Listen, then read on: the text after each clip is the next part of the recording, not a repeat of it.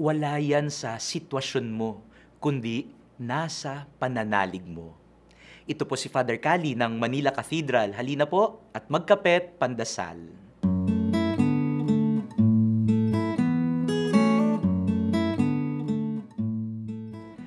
Ipinagdiriwang natin ngayon ang kapistahan ni na San Timoteo at Tito, mga kasamahan ni San Pablo sa misyon. Sa araw na ito babasahin sa misa ang sulat ni San Pablo kay Timoteo. Alam niyo ba na isinulat ni San Pablo ang kanyang sulat habang siya ay nasa kulungan? Hindi ba't nakamamangha na kahit nagdurusa sa kulungan si San Pablo, ay doon pa lumabas ang salita ng Diyos sa kanyang isinulat. Kahit nasa mahirap na sitwasyon siya, kaya niyang purihin at magpasalamat sa Diyos.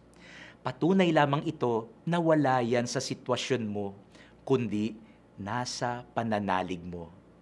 Kung si San Pablo ay kayang magpuri sa Diyos sa gitna ng mahirap na sitwasyon sa piitan, kaya rin nating manalig at magpatuloy anumang sitwasyon ang pagdaanan natin.